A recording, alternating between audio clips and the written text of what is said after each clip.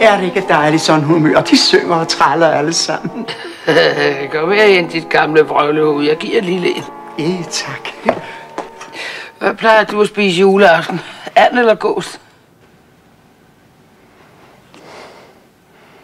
Mor laver altid flæskesteg. Med sprøsvær. Ja, ja, så laver jeg gris. I Guds